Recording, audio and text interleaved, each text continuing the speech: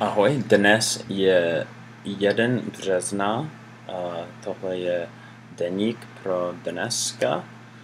Um, dnes přijel, dnes uh, jsme, jsme chodil do um, hříště uh, s dětmi, s dětmi. Um, hrál jsme na hříště um, počasí byl pěkně, pěkné, um, byl hodně, jak se řekne, mal, tamhle je voda, a malý město, na malý město, na ulice, jak se řekne to. Puddle, já nevím, co to je v češtině. Um, tak děti měly uh, ne boty, ale to je boty pro voda, pro vodu, boty na vodu, já nevím. A skákali na vodu. Skákali ve vodu.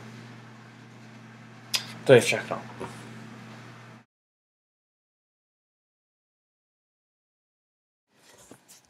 Ahoj, dnes je první březen a toto je deník pro dnešek.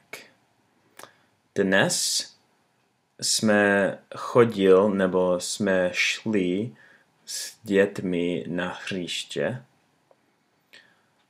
Um, hráli jsme na hřiště, na hřišti, hráli jsme na hřišti a bylo hezké počasí.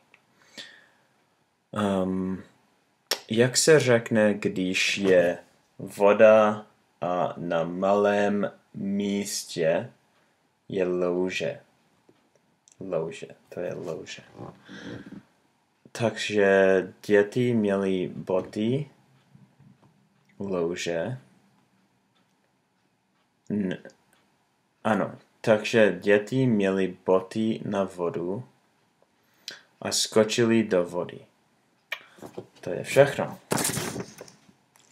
Thanks for watching. Um, I hope you liked the unedited, unscripted version, and then I uh, I kind of read from a script and corrected the grammar, hopefully. But if you have any advice, if you speak better Czech than me, and even my corrected version is wrong, please uh, don't hesitate to comment. Thank you.